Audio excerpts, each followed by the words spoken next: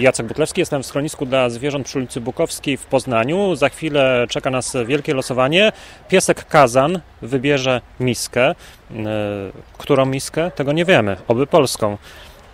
Piesek Kazan, Małgorzata Lamperska, schronisko dla zwierząt. Dzień dobry. Troszkę Kazan więcej. ma, Kazan ma 3 lata, jest e, bardzo fajnym, energicznym psem i jest wielkim fanem piłki. E, Co prawda myślę, że nie sprawdziłby się na boisku, bo uwielbia trzymać piłkę w pysku i z nią biegać, ale no kto wie, może wprowadziłby trochę mm, kolorytu do Jak- meczu. Jak to losowanie będzie przebiegać? Jak będzie wyglądać? E, Ustawimy dwie miseczki, do każdej e, położymy tyle samo karmy, tej samej karmy, no i zobaczymy, co Kazan wybierze. Mam nadzieję, że biało-czerwoną. On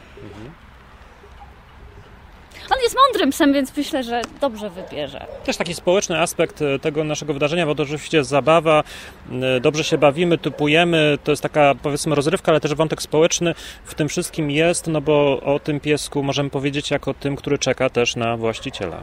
Tak, Kazan jest od y, paru miesięcy w schronisku i czeka na dom i my szukamy dobrego właściciela dla niego. E, Właściciela, który będzie, który lubi spędzać czas na dworze i który jest bardzo aktywny, ponieważ Kazan jest aktywny i będzie potrzebował e, tego, żeby wychodzić z nim na dwór, biegać z nim, bawić się, e, czy też, nie wiem, robić jakieś inne fajne rzeczy na dworze. Natomiast jest to super kochany pies e, i, i zdecydowanie no, zasługuje na dom. Jak wszystkie nasze psy zresztą. Podchodzimy powolutku już do tego miejsca, gdzie nastąpi losowanie z udziałem psa Kazana, wielkiego miłośnika piłki nożnej podobno i podszedł jako pierwszy do flagi polskiej, a to oznacza, że Polska dzisiaj wygra.